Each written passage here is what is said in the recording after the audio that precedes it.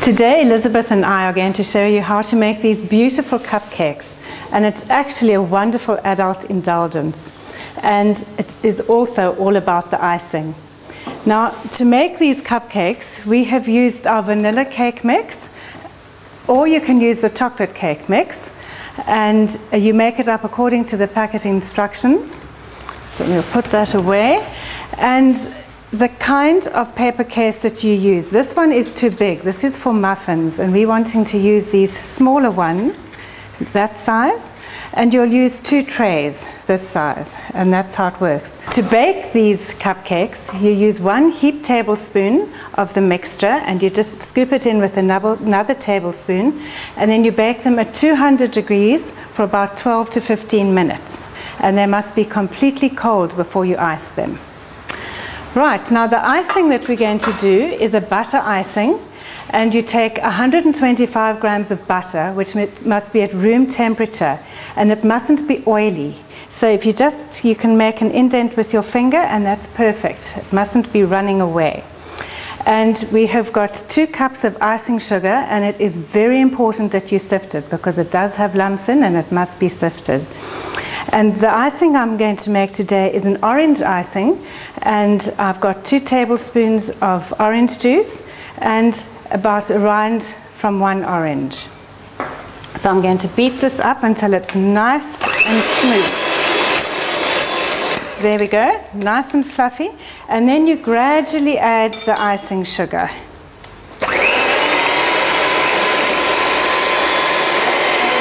Now you also stop halfway through and you just make sure that you scrape down the sides and then we'll carry on.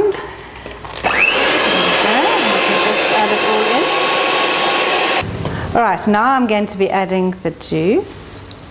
That's two tablespoons of juice and the rind. And we'll just give it one more beat. You want it nice and smooth.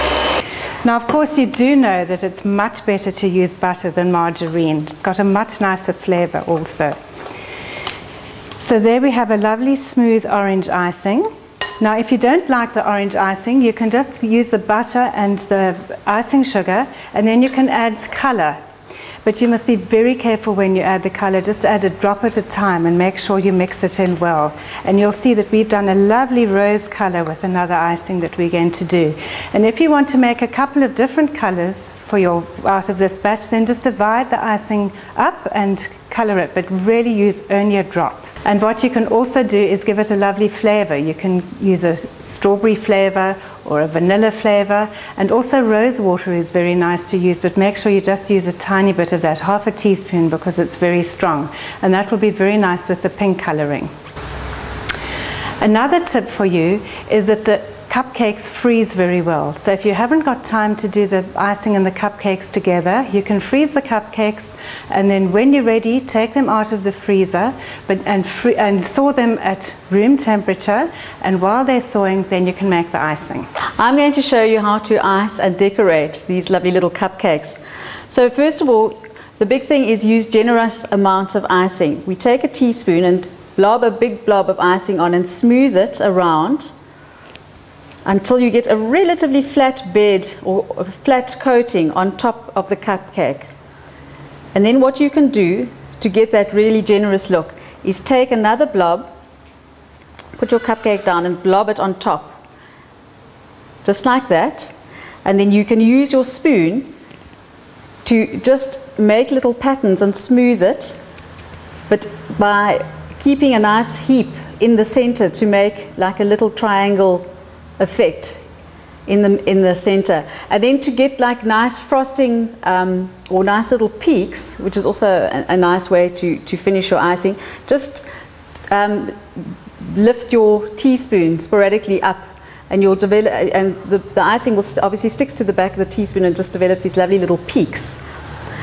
To finish that off, we use fabric ribbon, which I have made little bows out of here. It's, it's straightforward. You take the ribbon, you do your little bow and you pull it quite tightly so that it feels very secure. And then you just make sure when you cut them off that you cut a nice little, little tail. You just snip a little tail off and you've got a really cute little bow, which looks just like that. Now, if you're wanting to know, we've used, we managed to get about 12 little bows out of a meter of, of fabric ribbon. And then you just place the bow on top of the cupcake, just, just prod it down very, very gently on top so that it rests. We've done exactly the same with our, with our pink and rose flavored icing. We've also made a little platform at the bottom with the icing and, and, and uh, perked it up a little bit. And here we've used fresh rose petals, um, which all you need to do is you, you get your rose, your bud, and you just snip off, or rather pull off very gently the petals. And you, you can use one or two petals and just also just put them on top of the very heaped portion of the icing and just secure it uh, very gently with your fingertip and then it'll sit very nicely. This is now a very sophisticated way of icing and decorating a cupcake and it, it actually could double up as a dessert as well as a tea time treat. So what we have here, we've got the chocolate cupcake and we've mixed up the chocolate mousse according to the pack instructions and you put it into a piping bag and then what you do, the best way to do this is to keep your cupcake on a flat surface. And again, we make a bed at the bottom. Round, we go around the uh, top of the cupcake. As you can see, oops, big air bubble there. And you go around the outside first and then fill in in the middle. And then what you do once the, once the bed as such is established, you go around the outside and you form again a peak coming up in the center of the cupcake. So you left with a little, again, like a little pyramid. And onto that, we we can add a little cocoa bean, which is really nice just to finish that off. And then you can also use a drizzling of, of cocoa powder, also just to get that lovely um, finished look. Um, something else to bear in mind when you are icing uh, these little cupcakes, what happens sometimes is they don't necessarily work out that the peak comes straight up. But what you can do to make it make to make sure that it does get into the center is just shake it a little bit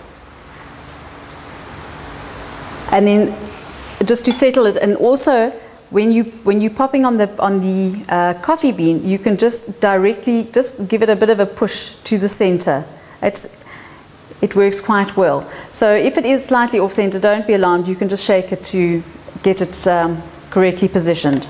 If you're in the home industry, you can also display them on a tray in a mixed, um, in a mixed variety like this.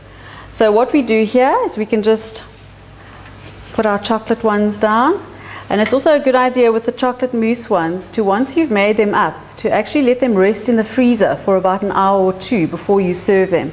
Because this just will, it, it, the mousse will just hold better. Rose ones. And there we have a lovely tray of delectable cupcakes.